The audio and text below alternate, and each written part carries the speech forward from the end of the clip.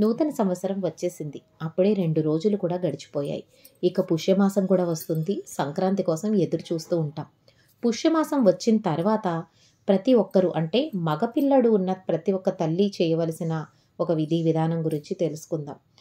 చాలామంది వినే ఉంటారు. సంక్రాంతి ఈసారి కీడుతో వచ్చిందని. శంకురుడు ఒక్కోసారి ఒక్కో దశలో వెడుతూ ఉంటాడు. శంకురుణ్ణి కనుమ పండుగ అయిపోయిన తర్వాత ఇల్లంతా శుభ్రం చేసుకొని గ్యాస్ స్టవ్ దగ్గర కూడా శుభ్రంగా కడుక్కొని అక్కడి నుంచి ఒక గీత గీసి ఇంట్లో నుంచి ఆ గీతను రథం వరకు తీసుకొచ్చి అక్కడి నుంచి మన ఇంటి నుంచి సాగనంపుతూ ఉంటాం. గ్యాస్ స్టవ్ ఎందుకు కడుక్కుంటారు అని అంటే శంకురుడు గ్యాస్ స్టవ్ కింద దాక్కుని ఉంటాడని అందుకే గ్యాస్ స్టవ్ కడుక్కోవాలని అంటారు. అక్కడి నుంచి పట్టి లాగి తీసుకువెళుతూ ఉంటాం. అలా వెళ్ళినప్పుడు శంకరుడు ఏ దిశలో వెళ్తున్నాడనేది ఆ ఫలితం మీద ఆధారపడి ఉంటుంది. ఈ సంవత్సరం శంకరుడు వెళ్ళే దిశలో కీడొస్తుందని చెబుతున్నారు చెప్తున్నారు కాబట్టి ఒక్క పి- మగ ఉన్న తల్లి ఖచ్చితంగా చేయాలి అని అంటున్నారు. ఇది నిజమా కాదా అనే సందేహం కూడా చాలామందికి ఉంటుంది.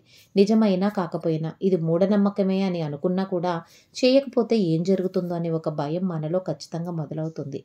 కానీ ఈ పని చేయడం వల్ల ఎవరికీ నష్టం లేదు కాబట్టి ప్రతి ఒక్కరూ చేస్తే మంచిది అని చెబుతూ ఉంటారు. కాబట్టి శంకరుడు మారే దిశను బట్టి ప్రతి సంవత్సరం అది మంచా చెడా అనేది తెలుసుకొని దాన్ని బట్టి మన పెద్దలు వాటిని అనుసరిస్తూ ఉంటారు.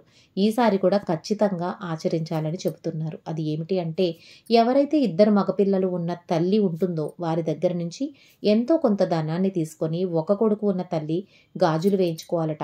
అది కూడా మట్టి గాజులు.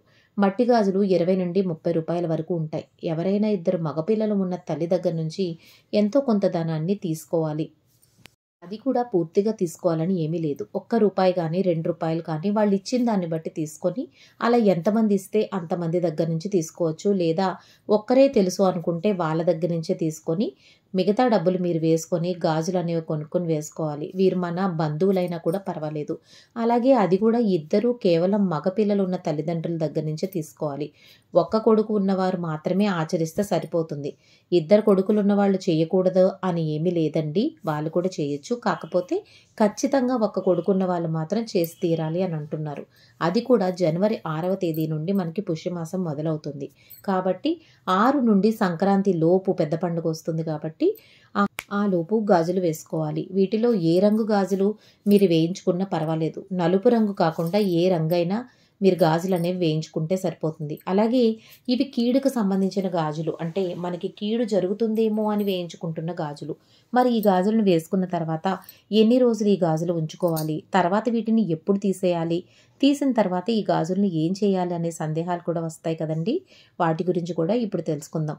ఈ మట్టి గాజులు అనేది కీడి వస్తుందేమోనని మనం వేసుకుంటున్న గాజులు కాబట్టి మీరు ఆరవ తేదీ నుండి ఈ గాజులు వేసుకోవడం ప్రారంభిస్తే పండగ వెళ్ళేంత వరకు వీటిని మన చేతికి ఉంచుకోవాలి. అంటే మొత్తం గాజులు ఒకసారి వేసుకున్నాక పండుగకు మనం ముస్తాబైనప్పుడు మాత్రం చేతికి రెండు చొప్పున వేసుకోవాలి.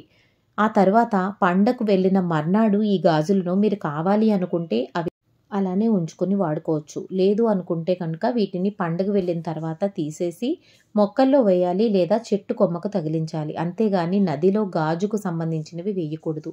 ఎందుకంటే నదిలో జాలర్లు కానీ ఏదైనా కలపడానికి కానీ దిగుతూ ఉంటారు. గాజు వస్తువులు నదిలో వేయడం వల్ల అవి కనిపించక ఎవరికైనా ఇబ్బంది కలగచ్చు. కాబట్టి మొక్కల మొదట్లో కానీ కొమ్మలకు కానీ తగిలించవచ్చు.